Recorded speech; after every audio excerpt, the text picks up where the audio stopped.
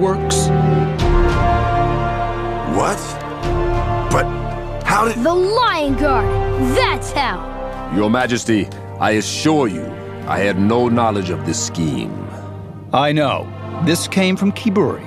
But since you are the crocodile leader, I will defer his punishment to you. Kiburi lost the Mashindano.